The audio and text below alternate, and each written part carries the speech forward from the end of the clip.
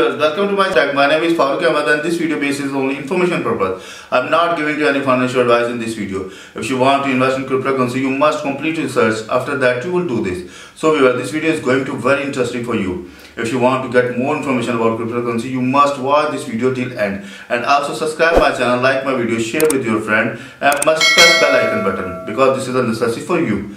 So let's go over laptop screen. And in this video, I am giving to information if you have any network in your coin98 wallet and if you want to remove so how can you do? This is so simple and easy. In this video i'm giving you complete information. And in this video i'm delete one wallet account or one network wallet account from my coin98 so please must watch this video till end. But first of all please subscribe my channel. My channel name is crypto info. And also press the bell icon button.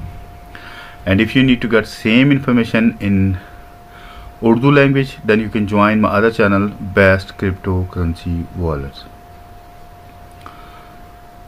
So viewers I hope you properly uh, understand about coin98 wallets. I have gave two complete information uh, almost one or two three videos remaining about this network.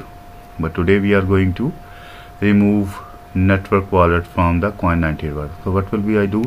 Simple as that simple click on your icon coin98 wallet and then just simple enter your password which is you have applied when you was create account. You know I have entered my password here. And simple click on unlock. Sorry my password is wrong. So I'm going to again enter my password. Now click on unlock now you can see here the my wallet is uh, open front of me. And today we are going to remove one wallet. So again need to enter my password and unlock now you can see your right top corner sorry left top corner uh, there is option is available manage wallets and you can see here there is uh, the second uh, second wallet name is Boba Network. I have added in our Coin98 wallet. If you have not watched that video, so please go to my YouTube channel and watch that video. That video is also very informative how to add the network uh, wallet. So if I need to remove from my manage wallet area, so I will just simple click on it and then the fifth option is remove Boba network wallet. So simple click on it. This is the base of ethereum wallet so that i just need to enter here eth wallet and click on remove.